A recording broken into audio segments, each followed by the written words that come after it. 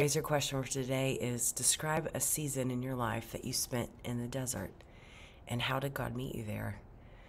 The word for desert in Hebrew is midbar, and midbar can also be translated as the place of the word. God often drew his people into the desert so that they could hear them. And there's lots of verses that I wrote about that that illustrate that idea.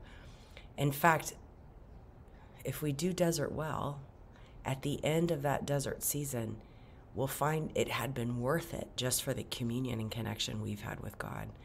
And you know, there's a lot there's a lot of challenge that desert brings, right? It challenges our faith. Like how could God allow this to happen? And it challenges our relationships. And it challenges our sense of who God is.